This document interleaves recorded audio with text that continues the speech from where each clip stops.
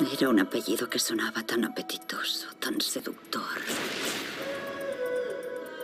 Sinónimo de riqueza, de estilo, de poder. Apenas un mes después de estrenar el último duelo, regresa a las salas el veterano Ridley Scott, ahora con La Casa Gucci, una vistosa producción que cuenta los pormenores que rodearon la muerte de Mauricio Gucci, el último capo de la saga familiar que construyó un gigantesco imperio cimentado en la moda y los productos de lujo, asesinado en 1995 por encargo de su propia esposa. No me considero una persona especialmente ética pero soy justa. La Casa Gucci adapta la novela de Sarah Gay Forden que se remonta al flechazo que unió al rico heredero, encarnado por Adrian Driver, con la ambiciosa Patricia Reggiani, hija de un empresario del transporte, su tormentoso compromiso y su boda contra la oposición de la familia.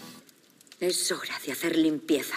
Caudaloso relato que explora las desavenencias que enfrentaron con alemanes mafiosos a las diferentes partes del clan. Son mi familia. También.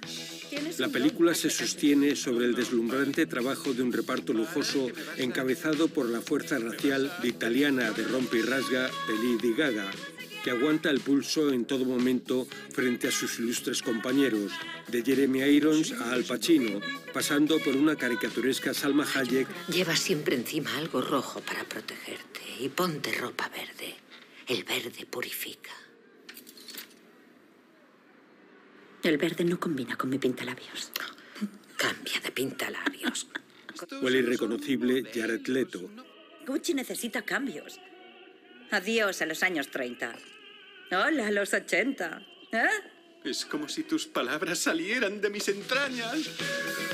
Ridley Scott rueda con su solvencia habitual la turbiedad moral que anida en este universo de lujo desmesurado, aunque se muestra indeciso a la hora de encontrar el tono apropiado a la narración, oscilando entre la farsa, la parodia, la comedia propiamente dicha o el desgarro sentimental.